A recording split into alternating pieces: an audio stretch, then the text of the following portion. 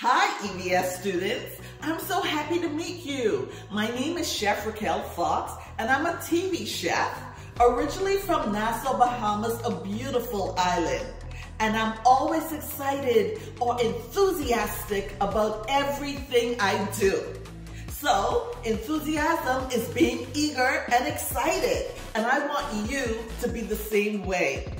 My favorite quote is from Ralph Waldo Emerson, who says, enthusiasm is the most powerful engine to success. So guys, we are going to have some fun with one of my favorite songs, and I want you to repeat after me.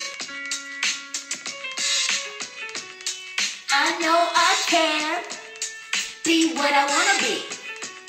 And if I work hard at it, know I can. Be what I wanna be. If I work hard at it, if I work hard at it, I'll be where I wanna be. I'll be where I wanna be.